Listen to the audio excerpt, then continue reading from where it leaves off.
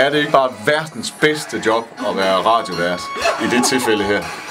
Jeg er ikke ked af det. Er du lille? Nej. det var godt. Det er jeg heller ikke. Det er et helt fantastisk job. Sikke nogle julegaver. Nu kig på kameraet. Okay. Nej, nu kigger jeg lige direkte ind i Hvor, kameraet. hvor er det, vi er henne? Vi er nede hos øh, Femina i Tønder. Og hvad laver, og hvad laver vi der? Øh, vi afvikler lige et lille radioprogram på øh, en fire timer, hvor man kan vinde øh, et gavekort på 2.500 kroner til sådan noget her. Juleting. Leute, ne?